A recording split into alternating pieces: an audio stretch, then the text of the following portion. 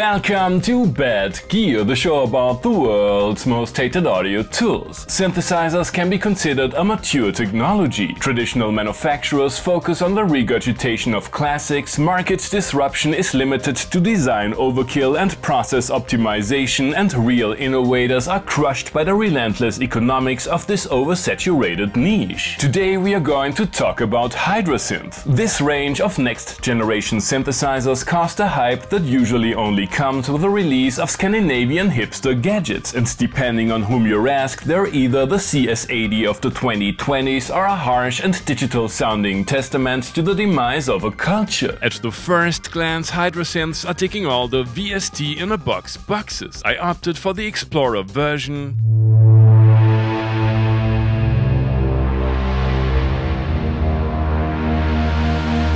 A, it's easier to film, B, they all sound the same, and C, I can't play keyboards anyways. Even this gateway drug among hydras comes with shadily patented polyphonic aftertouch,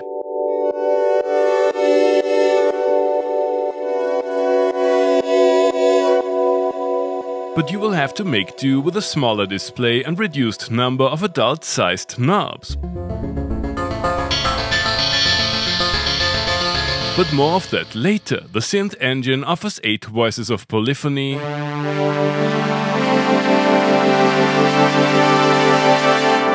and is based on so-called waveform scanning oscillators.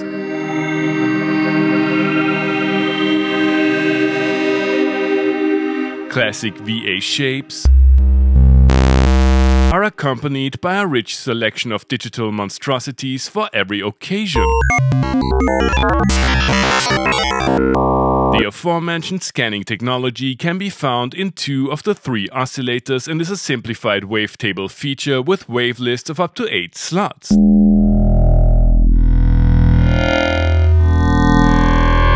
These oscillators are embedded in a somewhat traditional synth structure depicted on the front panel. This interactive signal flow chart lets you access its most essential building blocks and gives you a glimpse into the sound design facilities that make the synth unique, in addition to the ring modulation, noise section, you will find four mutators allowing for two operator FM, wave stacking for super saw-like waveforms, sync, three types of PWM, a phase shifter,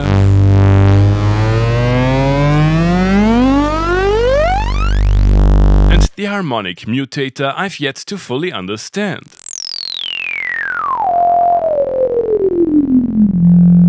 Raw tones are shaped further by two filters which can be operated in serial and parallel mode. Filter 1 lets you select bread and butter models,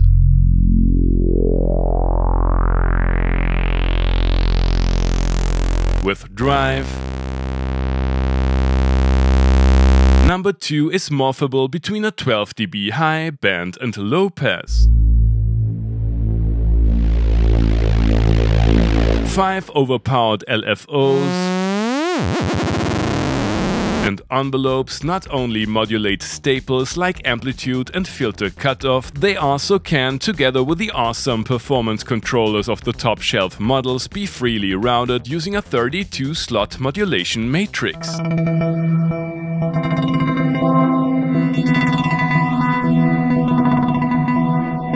Macros assist you in controlling the abundance of parameters.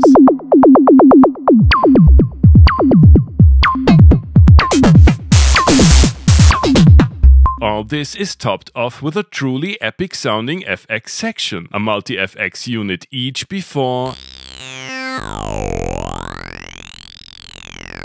and after reverb and delay.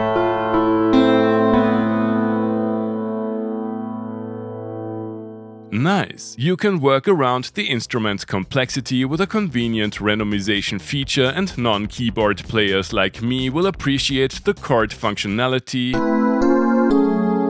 and roided up arpeggiator.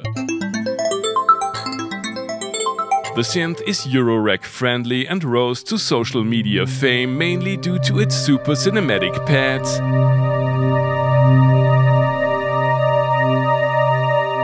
ambient sounds.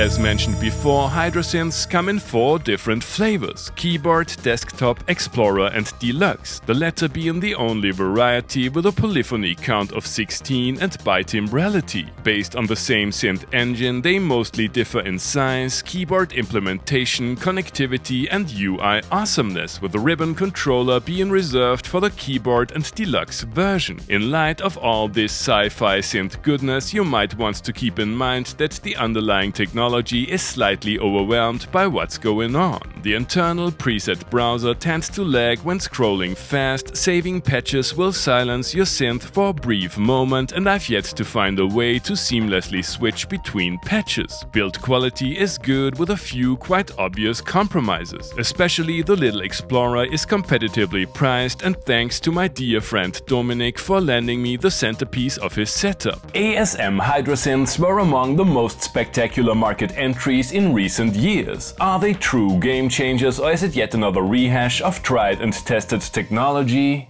You have already heard the Little Hydra in today's intro tune. I couldn't find a bass preset I really liked, so I made my own. Let's see if there's more where it came from.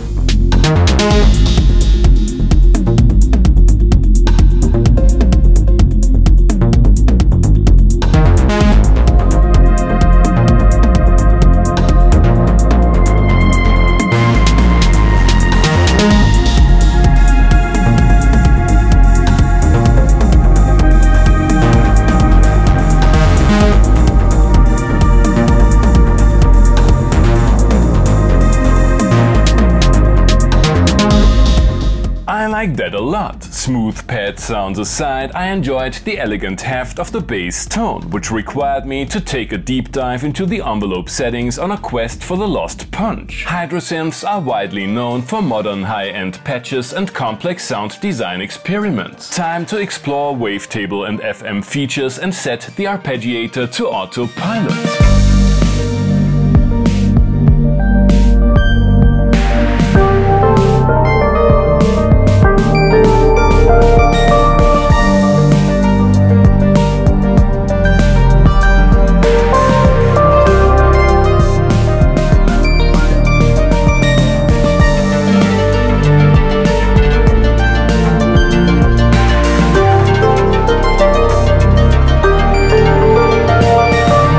Interesting. I found it challenging to keep the synth out of aggressively digital and harsh sounding territory, especially with some of the more eccentric waveforms and intense use of FM. The arpeggiator is truly awesome. It is not always easy to hit the oftentimes narrow sweet spot of the synth engine in a jam situation. I wanna know if we can isolate some sonic jams in. It's surprising how little it takes when you crank that sweet reverb futurist e-piano etudes for 21st century auditory shapeshifters.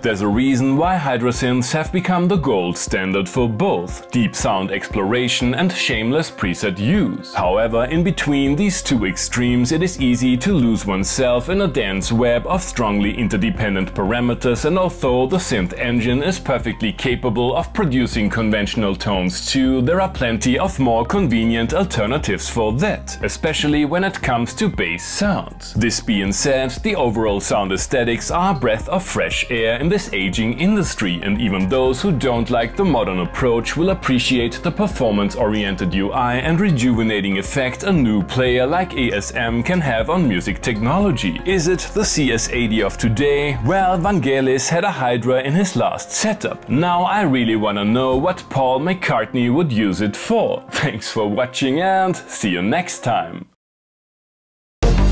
Hey guys, I hope you enjoyed the episode. Feel free to like, subscribe, become a patron and leave a comment what other kind of gear you would like to see and hear on the show.